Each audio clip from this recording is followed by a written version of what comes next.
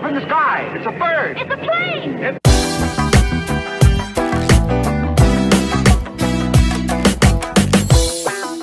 What is up guys, Kid Critic is back with another review. I know it's been a little bit, hasn't it?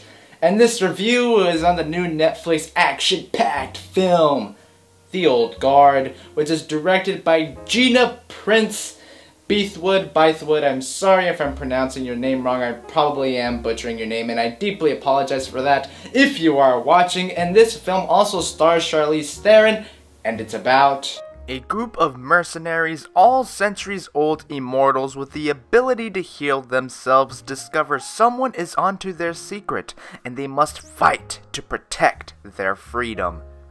Alright, now with all that out of the way, Joker, I know it's been a while, but could you please start this video for us? And here we go. Okay, so going into this movie, I heard some good things. I did watch the trailer, but I kind of forgot about it going into this movie. I mean, I did remember some of the things from the trailer as I was watching the film, but after watching it, I'm glad to say that I had an absolute blast with this film. I haven't read any of the comic book series that this film is based off of. I mean, I didn't even find out this movie is based off of a comic book series until I watched the movie. But I really like the concept of it, of these like old human people things. I don't know what to call them. I'll just call them humans. Of these older humans.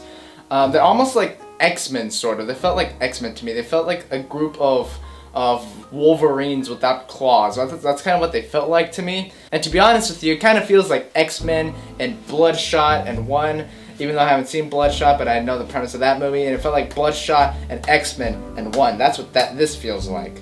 As I mentioned up top, this is an action-packed movie and it definitely delivers on the action. It's engaging, it's intense, it's definitely gory, there's some definitely gory stuff in here. I really like the effects in this film and overall it definitely delivered on that action.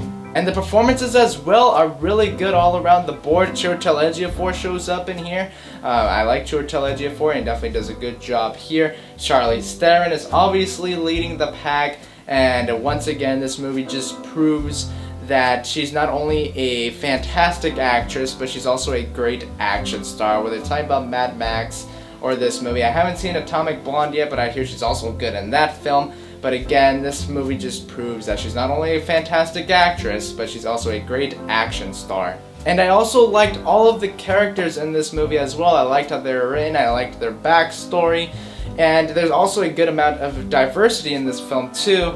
And even though these characters are quote unquote immortal, I didn't want them to get shot whenever they were in action because, uh, you know, you, you, just didn't want to be like, oh my gosh, I hope they don't die. I know they're immortal, but I still don't want them to die. I mean, you never know. So yeah, I definitely liked all of the characters in here. There's some cool little twists and turns along the way in this film as well that I didn't see coming. Now, maybe if you read the comic book series, maybe you would see them coming because maybe there's similar storylines, which I take it they probably are, but I like the little twists and turns along the way in this film. Overall, I really enjoyed this movie. The action's awesome. I enjoyed all of the characters in here. The performances are good. Nice little twists and turns in there along the way. And yeah, I definitely enjoyed this one. Highly recommend it. And Netflix is doing a really good job with their action films lately because I also enjoyed their uh, Extraction starring Chris Hemsworth, again another Netflix film, and then you also have The Old Guard. And I'm definitely looking forward to a sequel. I hope there's a sequel because again, I'd definitely be looking forward to that as well. And with that said, leave a comment down below. What did you think of The Old Guard? And don't forget to like and subscribe because that is very important. And as always in every single video, look out for the next video or review. And peace.